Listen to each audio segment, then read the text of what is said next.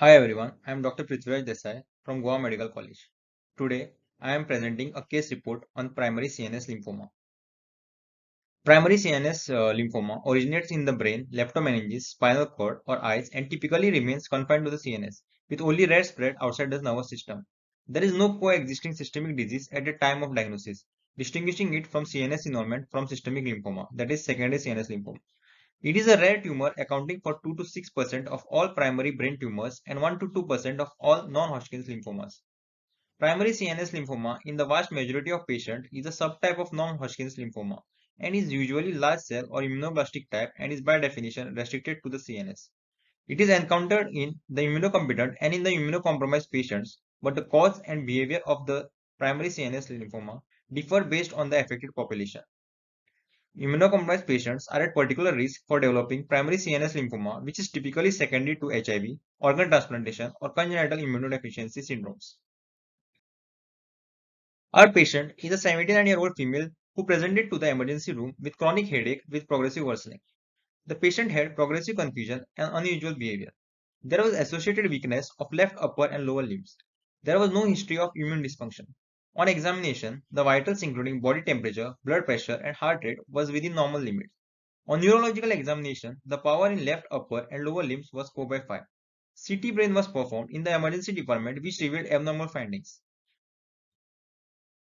Further evaluation with MRI revealed altered areas of white matter signal intensity involving right frontoparietal region including the periventricular region extending across the anterior body of corpus callosum minimally into the left frontal region right external capsule, internal capsule, insula, and right cerebral peduncle.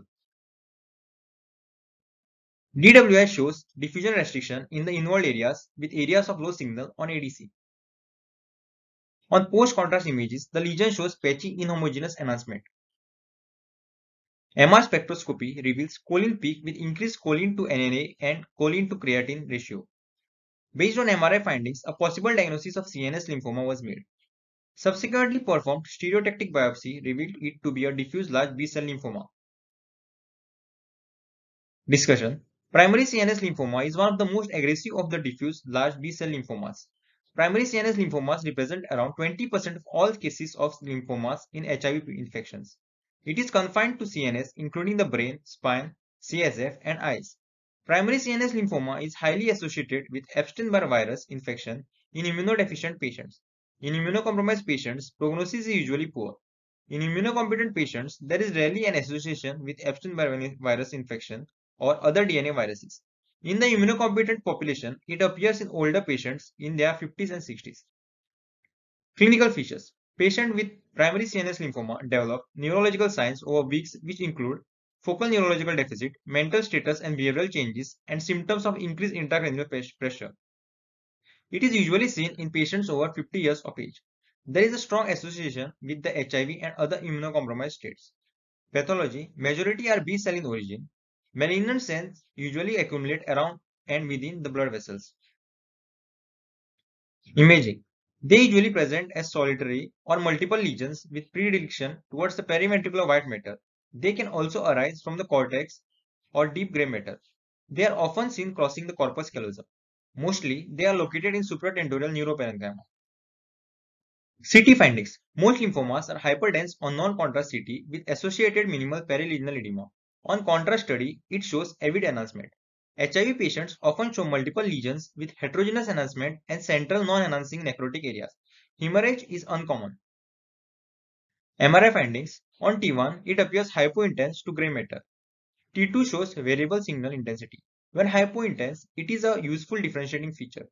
On post-contrast scans, high-grade lesions show intense homogeneous enhancement. Low-grade lesions show absent or moderate enhancement. Peripheral enhancement is seen in immunocompromised patients. No sign suggestive of infiltrative or irregular growth pattern. On DWI, it shows restriction. MR spectroscopy, large choline peak with markedly decreased NAA. MR perfusion, only modest increase in cerebral blood volume. Thallium scintigraphy and FDG PET shows increased uptake. Management Unlike other brain tumors, it often has a favorable response to both chemotherapy and radiation therapy. But compared with lymphomas outside the CNS, survival is usually inferior. The prognosis for primary CNS lymphoma that has failed first-line therapy remains poor. Although new therapeutic approaches have improved survival, the management of this disease still poses a challenge in neuro-oncology.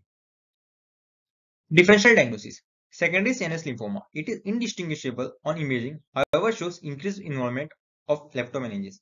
Cerebral toxoplasmosis. Glioblastoma multiforme. Central necrotic areas and hemorrhage is common. Others include tumefactive MS, ADEM, cerebral abscess, and neurosarcoidosis. These are my references. Thank you everyone for your patient listening.